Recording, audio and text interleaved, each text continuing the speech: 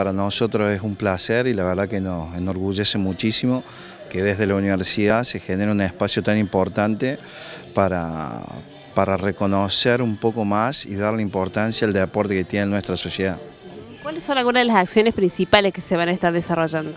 Bien, en primera instancia va a ser una recolección de datos, reconocer todas las instituciones eh, públicas y privadas que, practican actividad deportiva y hacer un censo lo que implica eso y con los datos que, que te arroja el censo, eso lo van a poder aprovechar todas las entidades para poder avanzar sobre eso. ¿no? ¿Cómo surgió la idea, el proyecto de armar este observatorio? Bueno, Marcelo, Marcelo hace mucho tiempo que viene trabajando, se reúne con distintos docentes, eh, hemos tenido muchas charlas, muchas reuniones con,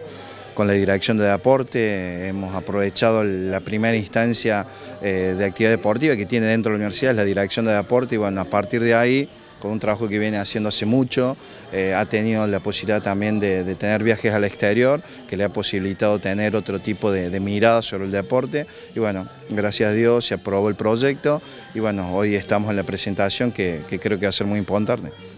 ¿Son muchas las organizaciones que van a estar participando o que han sido invitadas? Sí, sí, sí, son muchas y la verdad que día a día, por lo que me comenta Marcelo, van apareciendo nuevas entidades, nuevas asociaciones, grupos que practican algún tipo de actividad deportiva en la, en la ciudad y bueno, de a poco este censo va a servir para ir reconociéndolos a todos.